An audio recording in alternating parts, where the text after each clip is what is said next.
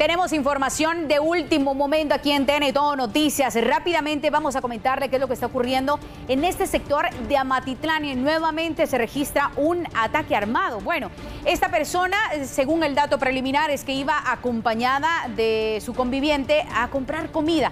A eso se dirigían cuando de repente fueron atacados eh, con por varias personas, por unos hombres que se conducían por ese sector.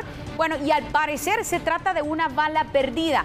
Este hombre, como ya le decíamos, se hacía acompañar de su esposa al momento de que se da este ataque armado, que no iba en contra de ellos, al menos ese es el dato que se ha brindado, y resultó herida por una bala perdida. Inmediatamente los socorristas fueron alertados a atender la emergencia, llegaron rápidamente y le dieron los servicios especializados. Ameritaron también su traslado al centro asistencial de la localidad para verificar cómo se encontraba este hombre. Esto ocurrió sobre la séptima calle y sexta avenida del barrio El Rosario en Amatitlán. El hombre ya fue identificado como Salvador Jesús Jazz Morales, de 32 años de edad. Y le repito, el dato preliminar es que él resulta herido por una bala perdida, que el ataque no iba directamente hacia él, sino que al contrario, solo se trató de un mal momento donde él se encontraba en el lugar menos indicado cuando resultó herido al momento que iba a comprar comida junto a su esposa.